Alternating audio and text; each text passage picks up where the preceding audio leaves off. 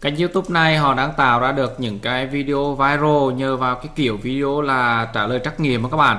Và có thể thấy được rất là nhiều cái kiểu video trả lời trắc nghiệm ở trên kênh của họ. Và họ kiếm được rất là nhiều subscribe cũng như là à, lượt xem để bắt đầu kiếm tiền với uh, YouTube. Và chúng ta sẽ cùng xem uh, ở trên social play đi. Thì kênh này đang kiếm được khoảng 4.000 đô mỗi tháng. Đây là thời điểm mà bình thường của họ các bạn nhé. Có những thời điểm họ kiếm được rất là nhiều tiền với à, cái thể loại cái video này. Và hàng năm họ kiếm được khoảng tầm 47.000 đô mỗi năm nhờ vào cái channel này các bạn. Và trong video này à, tôi sẽ hướng dẫn cho các bạn cách để chúng ta có thể tạo ra được những cái video như ở trên kênh mà các bạn đang xem ở đây. Chúng ta sẽ sử dụng chat GPT và Canva để tạo ra được những cái video chất lượng như thế này các bạn nhé. Trước khi vào video thì nhớ nhấn nút like video.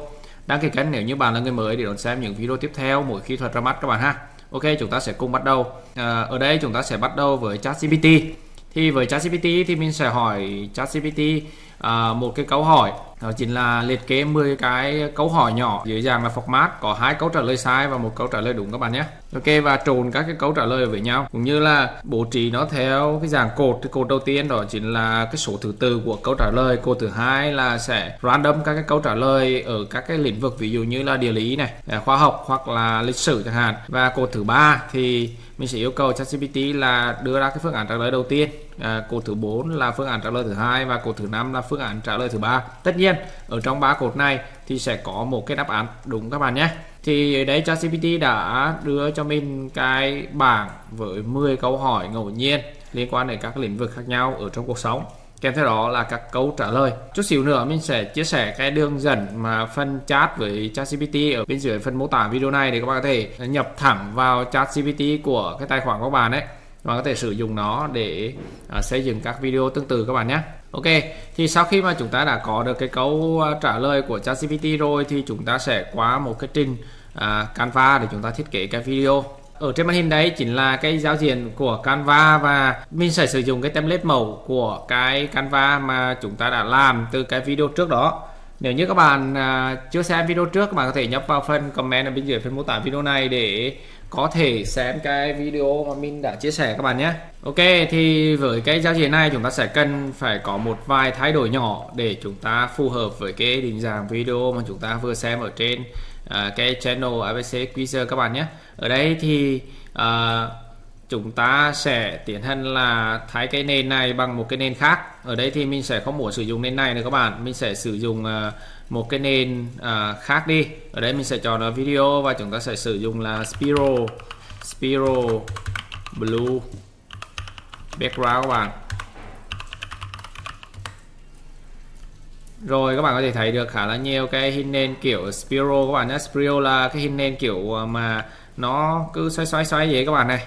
Đấy chính là những cái loài hình nền Spiro và mình có thể lựa chọn nó để làm à, ví dụ ở trong video này. Ở đây mình sẽ chọn cái hình nền này nhập vào đây.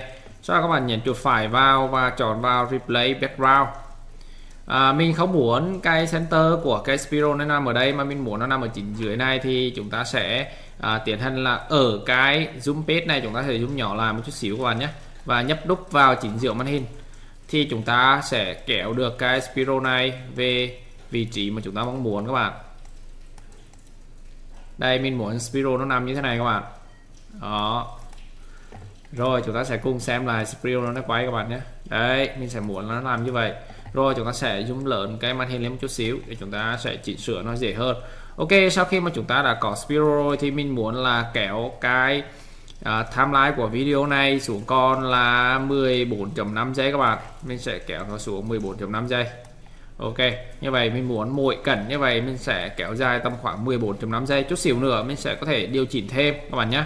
Ở đây mình sẽ fit nó là 14.5 giây. Tiếp theo nữa là chúng ta sẽ sửa đổi cái chữ này.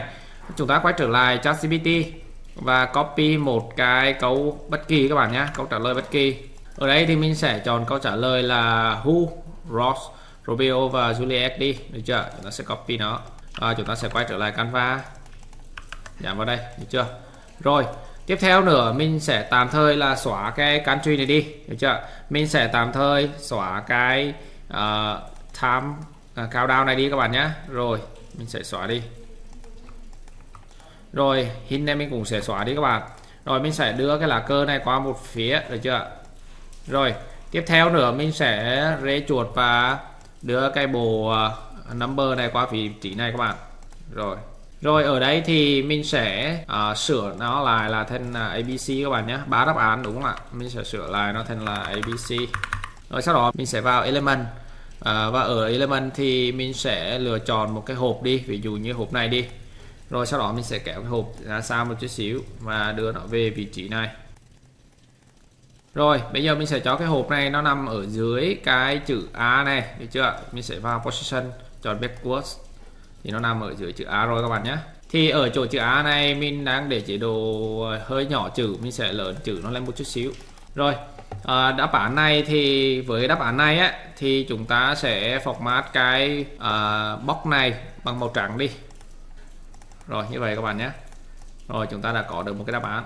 Rồi tiếp theo nữa thì chúng ta sẽ tiến hành là à, duplicate nó và nhấn bản tiếp đáp án thứ hai ở đây mình sẽ chọn là đáp án B.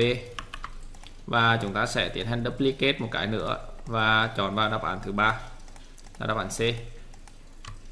Các bạn để ý thấy là cái box này nó hơi lớn đúng không ạ? Nó sẽ chọn hơi diện tích xíu thì chúng ta sẽ làm cho nó nhỏ lại một tí các bạn nhé. Rồi chúng ta sẽ kéo cái này à, rộng ra một tí nhé cắm chỉnh à, cái chữ này cho nó đều ha. Rồi tiếp theo là chúng ta sẽ à, vào test và chọn một cái heading ở heading này thì chúng ta sẽ nhập cái đáp án của cái bảng tính ở trên ChatGPT. Chúng ta sẽ nhập đầu tiên là đáp án A.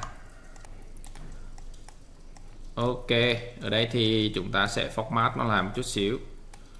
À, chúng ta sẽ đưa vào đây.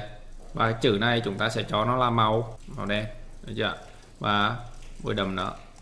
À, mình không muốn cái kiểu chữ như thế này mình sẽ một kiểu chữ Oswald đi. Ok, tiếp theo là mình sẽ duplicate chữ này sang đáp án B và tiến hành à, duplicate nó sang đáp án C.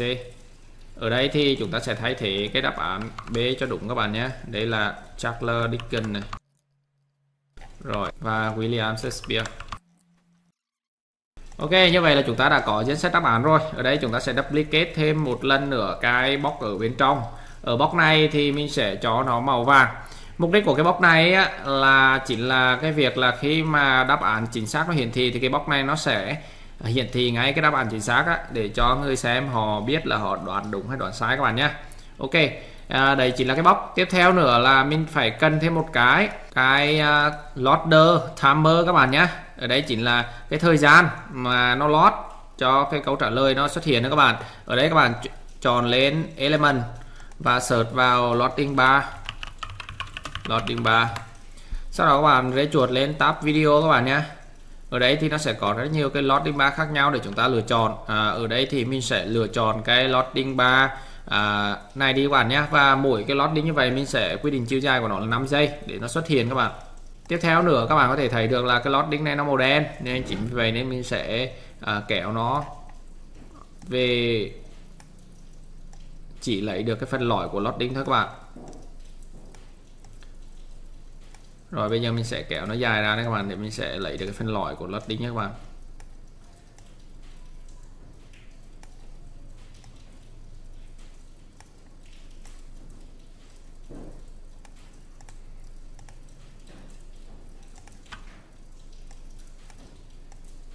Rồi chúng ta sẽ xem lại nhé. Đấy các bạn có thể thấy được cái lót đinh này nó sẽ chạy đúng 5 giây. Được chưa? Rồi à, tiếp theo nữa là mình sẽ bố trí cái loading này nằm ở ngay chính giữa center này các bạn nhé. Rồi, center. Ở phần này mình sẽ tạm thời cho nó nằm ở trên này đi, chút xíu mình sẽ đưa nó vào đúng vị trí các bạn nhé. Rồi, ok. Như vậy là chúng ta đã có được cái câu hỏi, chúng ta đã có được cái hình ảnh, chúng ta đã có được các cái đáp án, cũng như là chúng ta đã có được cái loading ở đây thì mình sẽ lựa chọn à, một cái hình để chúng ta thay thế. Ở đây mình sẽ lựa chọn hình là Romeo và Juliet, giống như ở trên mô tả đi chúng ta sẽ qua Google các bạn. À, chúng ta sẽ search là Romeo and Juliet. Và đây chúng ta sẽ chọn vào tab hình ảnh các bạn nhé. Rồi các bạn thấy được là trong này thì chủ yếu là hình nhân vật ở trên phim hoặc là truyền đúng không thì chúng ta sẽ uh, cover book đi. Uh, book đi. À, chúng ta search cái này chúng ta lấy. Rồi chúng ta thấy được khá là nhiều cái hình có cái chữ Romeo and Juliet thì ở đây chúng ta sẽ sở thêm công cụ các bạn. Ở đây các bạn nhấp vào quyền sử dụng ấy chúng ta sẽ chọn là giấy phép thương mại hoặc là giấy phép Creator Commons. Chúng ta sẽ chọn là giấy phép Creator Commons các bạn nhé. Rồi ở đây chúng ta sẽ lấy một cái hình uh, Romeo và Juliet đi được chưa? Ok mình sẽ lấy cái uh, hình này đi. Rồi ở đây thì nó sẽ có rất là nhiều cái hình khác để chúng ta lựa chọn các bạn này. Ở đây mình sẽ chọn cái hình này. Rồi mình sẽ nhảy chuột phải vào và chọn vào sát chép hình ảnh. Tiếp theo các bạn sáng Canva và à, Ctrl V vào. Đó thì nó sẽ tự động đưa cái hình ảnh này vào Canva. Sau đó chúng ta sẽ tụm cái hình ảnh này rê chuột vào cái hình ảnh của cái khung này nhấp đúc vào khung và đưa cái chữ Romeo và Juliet vào đúng cái vị trí mà chúng ta có thể quan sát tới được chưa? Như vậy là chúng ta đã có thể có được một cái hình ảnh à, khá là hấp dẫn rồi. Bây giờ chúng ta sẽ tiến hành là gì? Chúng ta sẽ tiến hành là à, tùy chỉnh cái hiệu ứng xuất hiện của các cái thành phần ở trong cái uh, cái cảnh này. Đầu tiên là cái hình ảnh. Thì ở đây chúng ta sẽ chọn vào pop. Ở đây là animate các bạn nhé và chọn vào pop. Rồi sau khi nó xuất hiện rồi thì mình sẽ cho nó lắc lư các bạn. Ở đây mình sẽ chọn là cái hiệu ứng lắc lư. À, hiệu ứng lắc lư. Đây mình sẽ chọn là hiệu ứng lắc lư nó nhỏ thôi các bạn. Đây nó sẽ lắc lư nhỏ thôi. Đấy rồi tiếp theo là hai cái uh, các cái đáp án. Ở bên này mình sẽ bôi cái đáp án này. Được chưa? Mình sẽ bôi cái đáp án này và chọn vào animate. Đó chúng ta sẽ chọn vào đây chúng ta sẽ chọn vào cái này chẳng hạn. Được chưa?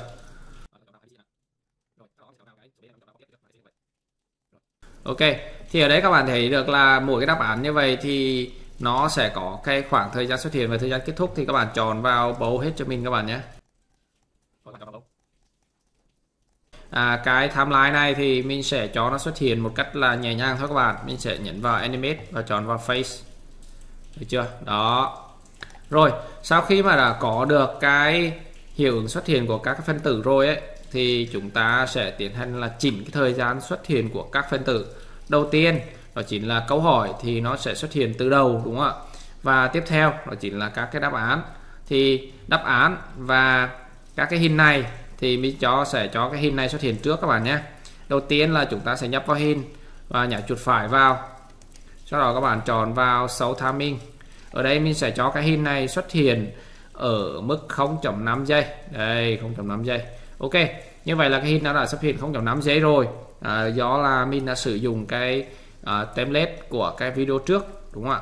Tiếp theo nữa chúng ta sẽ nhấp vào cái đáp án A này, và cho nó xuất hiện 0.5 giây tiếp theo các bạn. Rồi mình sẽ chọn kéo nó thành là một giây này. Rồi, chúng ta sẽ kéo về đáp án A nhé rồi, tiếp theo nữa là đáp án B, thì mình sẽ cho nó xuất hiện là gì ạ? Là tiếp sau đó 0.5 giây. Rồi, mình sẽ cho đáp án B xuất hiện.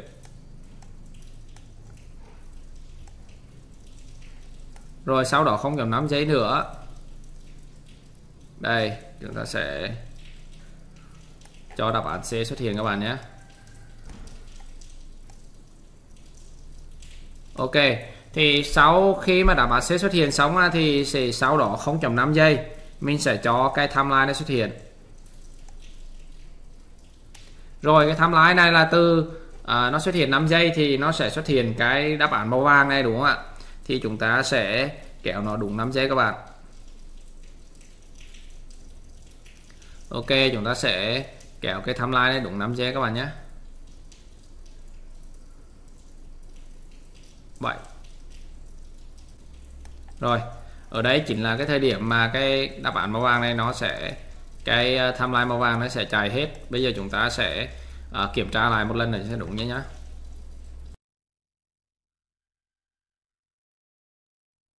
Ok, như vậy là đúng rồi các bạn.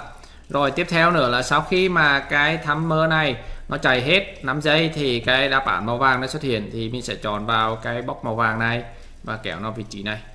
Rồi, như vậy là chúng ta đã có thể nhịp nhàng xuất hiện các cái đáp án rồi. Bây giờ tiếp theo, sau khi mà chúng ta đã cài được hiệu ứng rồi, chúng ta sẽ xem lại một lần nhé.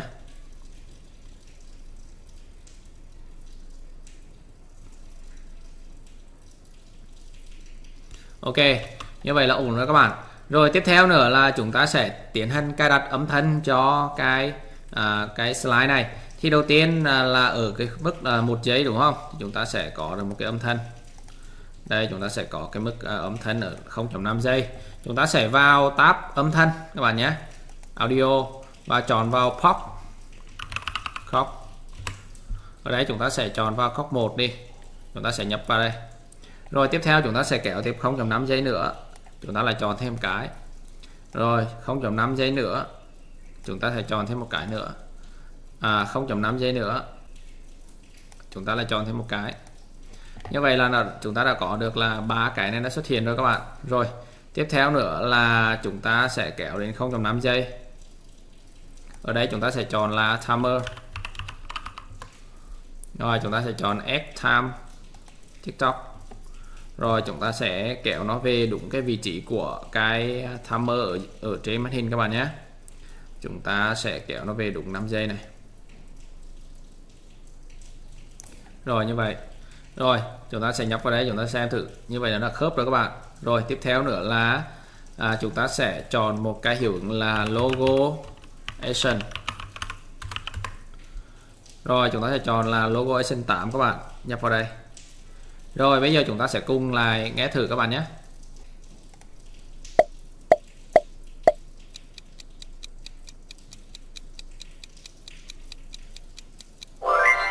Ok à, đã khớp rồi các bạn.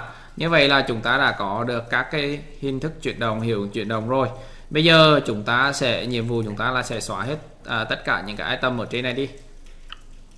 Sau đó chúng ta sẽ tải cái template này về ở dưới dạng là video các bạn nhé mình sẽ ghi là video. Chúng ta sẽ nhấn vào share, chọn vào download và nhấn vào mp4 và chọn vào download. Sau khi chúng ta tải về rồi thì chúng ta sẽ tải lại cái file video đó lên tài khoản Canva của chúng ta các bạn nhé. Rồi chúng ta sẽ tải cái video đó lên cái tài khoản Canva. Rồi, chúng ta đã có được video. Sau đó chúng ta sẽ nhấn Ctrl Z trở lại cái hồi nãy chúng ta vừa xóa đó các bạn. Ok, rồi à, ở đây thì chúng ta sẽ tiến hành là thay cái nền của cái slide này bằng cái video mà chúng ta vừa tải lên các bạn nhé.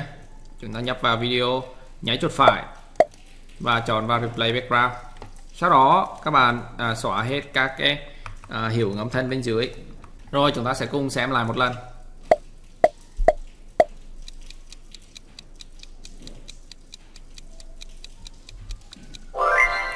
Ok, như vậy là chúng ta đã có được slide à, khá là ok rồi các bạn. Rồi bây giờ chúng ta sẽ qua ChatGPT. Ở ChatGPT thì chúng ta sẽ tiến hành là tìm các cái hình ảnh phù hợp với các cái câu hỏi ở đây. Đầu tiên là capital of franc đúng không? Thì chúng ta sẽ à, uh, franc thì nó sẽ có gì ạ? Là tháp Eiffel đúng không? Chúng ta sẽ nhập vào franc và quay trở lại đây chúng ta sẽ tìm uh, tháp Eiffel. Uh, photo đi rồi chúng ta thấy được là hình ảnh tháp fan rất là đẹp các bạn. Chúng ta chọn vào đây. Nhảy dấu ba chấm và nhấn vào add to folder. Ở folder ấy, thì chúng ta sẽ tạo một cái folder mới các bạn. Create new nhấn vào tên folder và nhấn vào add new folder. Rồi đó là Frank.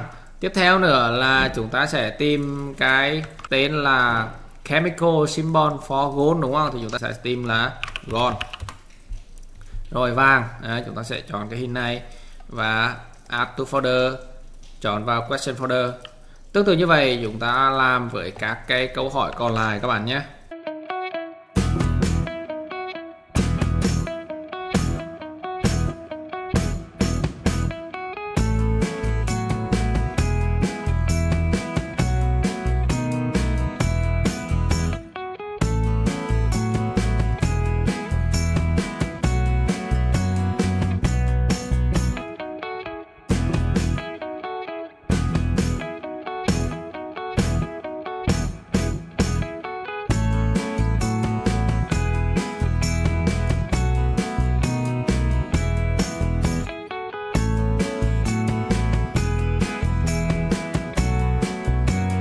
Sau khi đã tìm hết tất cả những cái hình ảnh mà chúng ta đang có ở trong cái file ở trên ChatGPT thì chúng ta sẽ qua đến bước này đó chính là bước bước creator các bạn nhé.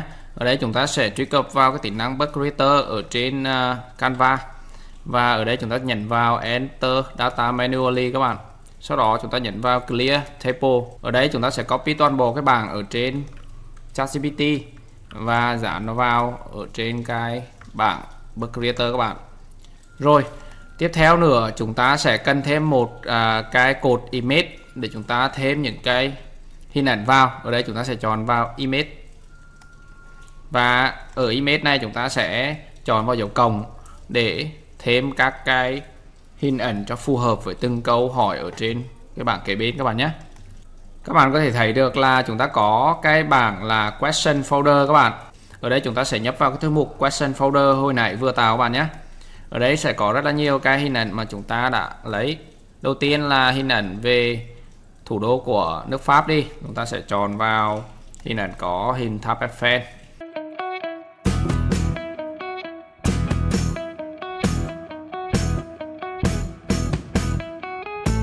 Sau khi các bạn đã chọn xong hình ảnh rồi, chúng ta nhấn vào don ở đây chúng ta sẽ bắt đầu kết nối cái dữ liệu vào từng cột của cái bảng tính vừa rồi đầu tiên là cột về hình ảnh. Chúng ta sẽ nhấp vào Romeo, cái hình ảnh này và nhảy chuột phải, chọn vào Connect Data. Ở đây chúng ta sẽ chọn vào Image.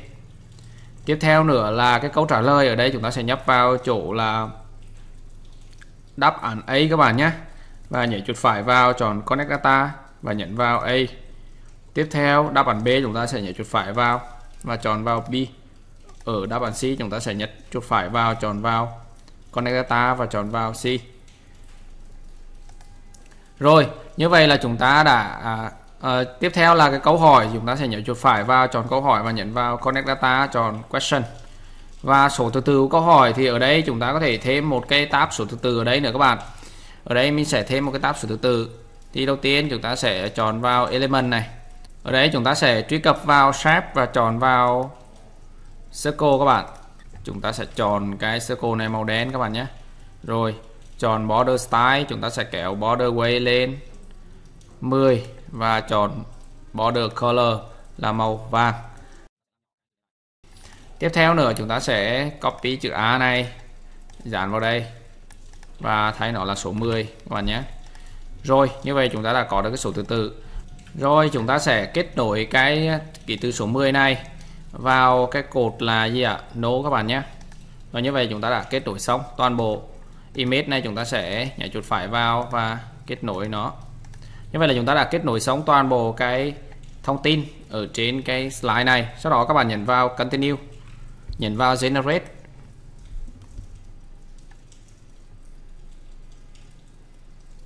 Như vậy là chúng ta đã có được à, 10 slide mà chúng ta muốn với mỗi slide như vậy là một câu hỏi các bạn nhé, chúng ta sẽ lần lượt kiểm tra lại rồi đối với cái à, những cái câu hỏi nào mà nó có cái à, kích thước chữ nó lớn quá chúng ta sẽ làm cho nó nhỏ lại một chút xíu để phù hợp với cái layout của cái slide.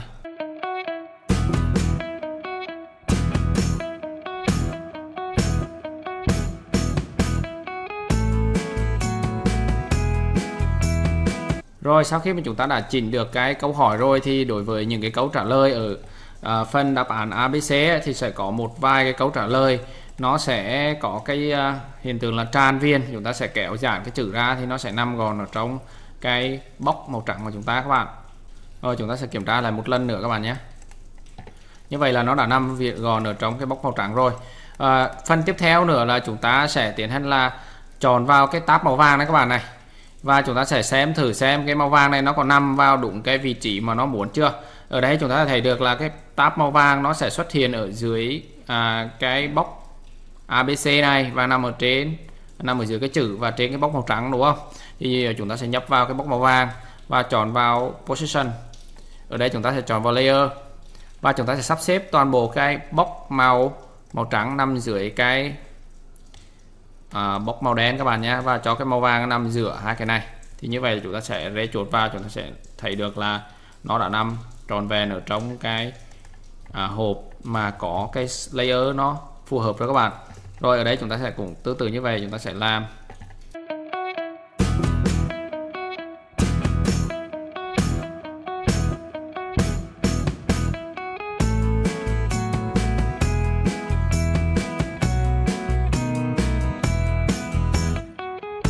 Rồi, sau khi mà chúng ta làm xong rồi thì chúng ta sẽ tiến hành là đi đưa cái bóc màu vàng này vào đúng cái đáp án mà chúng ta đã được ChatGPT đưa ra từ đầu. ở đây chúng ta sẽ tiến hành là gì ạ? Chúng ta sẽ tiến hành là qua ChatGPT. Và ở đây chúng ta sẽ cuốn xuống. Chúng ta sẽ thấy được là các cái đáp án mà ChatGPT liệt kê bên dưới. Đầu tiên là đáp án à, của câu hỏi số 1 là C. Chúng ta sẽ chúng ta sẽ về cái page số 1 và đưa cái box màu vàng về vị trí C các bạn. Rồi tiếp theo là câu hỏi số 2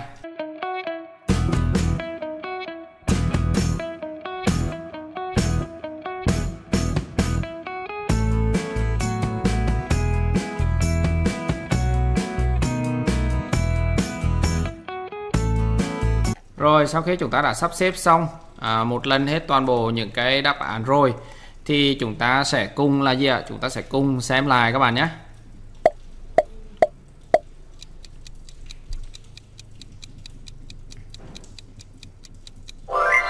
Rồi, như vậy nó đã hoạt động khá là trôi chảy rồi.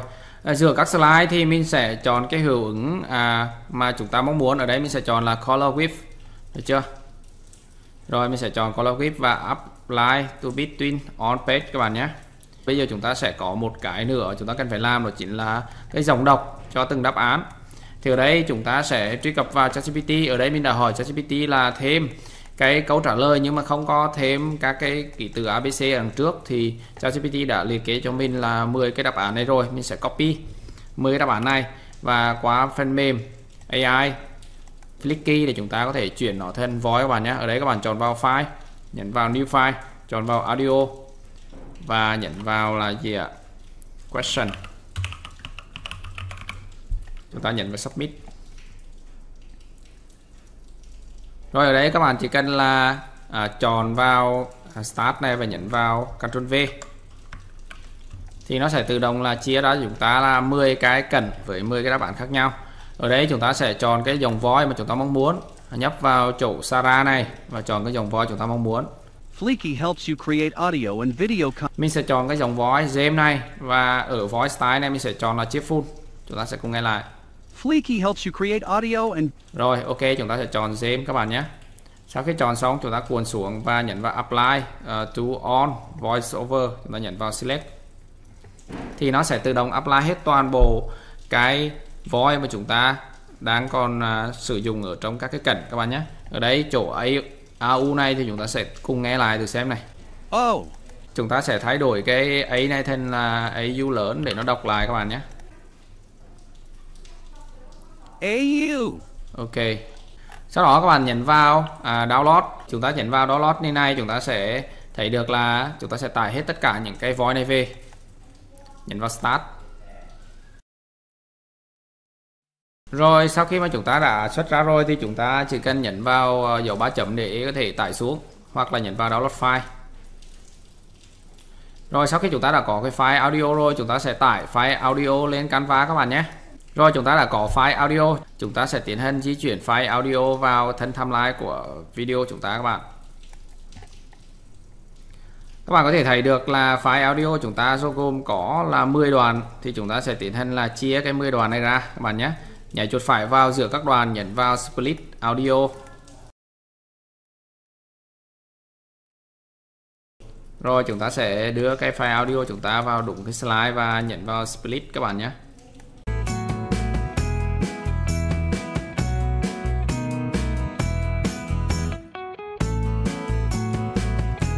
Rồi, sau khi split xong thì cái bước này là bước rất là quan trọng, đó chính là chúng ta sẽ chọn vào cái hộp màu vàng này hộp màu vàng các bạn. Rồi sau đó chúng ta nhấn vào chuột phải và chọn vào sâu minh.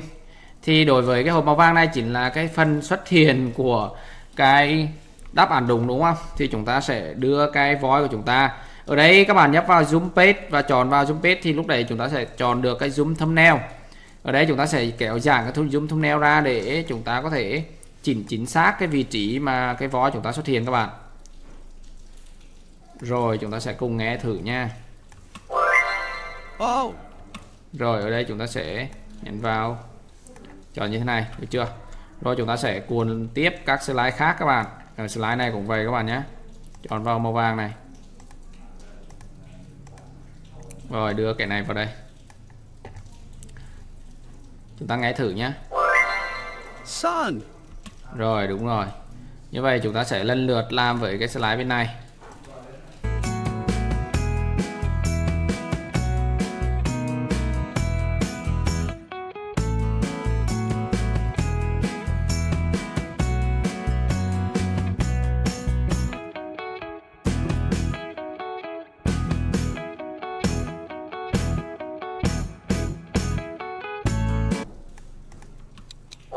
Paris. Paris. Ok, như vậy là chúng ta đã thêm cái voice audio đọc cái đáp án cho cái mỗi slide đã xong rồi các bạn. Ok, bây giờ chúng ta sẽ cùng nghe lại một lần để chúng ta sẽ cùng xem lại một lần cái video của chúng ta các bạn nhé.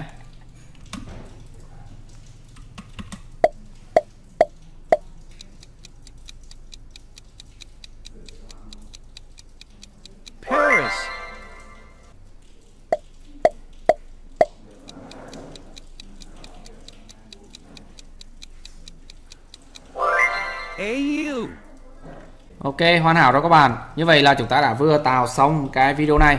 À, các bạn có thể thêm các slide ở đằng trước và đằng sau. Slide đằng trước đó chính là slide intro và slide đằng sau là slide outro và end screen. Thì ở video trước mình đã hướng dẫn cho các bạn cách để các bạn tạo ra cái slide đó rồi.